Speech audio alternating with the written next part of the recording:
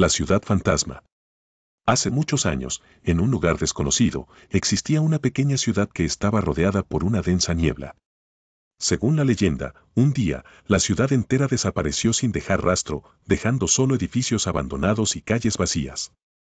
A pesar de que nadie había podido encontrar la ciudad en años, la gente hablaba de ella como una leyenda urbana. Se rumoreaba que los fantasmas de los antiguos habitantes aún vagaban por las calles desiertas. Un grupo de amigos, curiosos por conocer la verdad detrás de la historia, decidió aventurarse en la niebla para encontrar la ciudad fantasma. Después de varias horas de caminar, finalmente llegaron a las puertas de la ciudad, que estaban cubiertas de hiedra y polvo. Al entrar, notaron que la ciudad estaba llena de edificios abandonados y calles vacías. Sin embargo, mientras caminaban por las calles, comenzaron a sentir una presencia extraña, como si alguien los estuviera observando.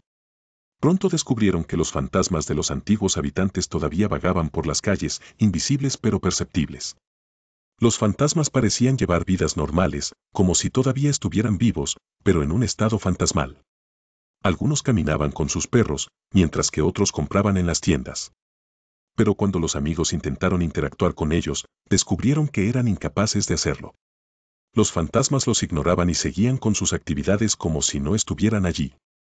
Mientras los amigos seguían explorando la ciudad, comenzaron a sentir que los fantasmas estaban empezando a tomar conciencia de su presencia.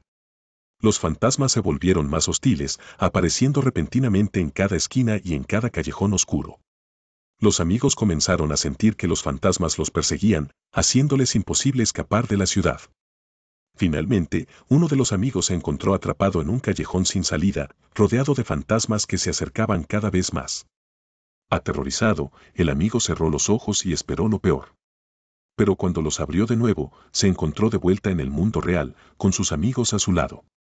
A pesar de que habían escapado de la ciudad, los amigos nunca olvidarían la experiencia que habían tenido en la ciudad fantasma, donde los fantasmas de los antiguos habitantes aún parecían vagar por las calles.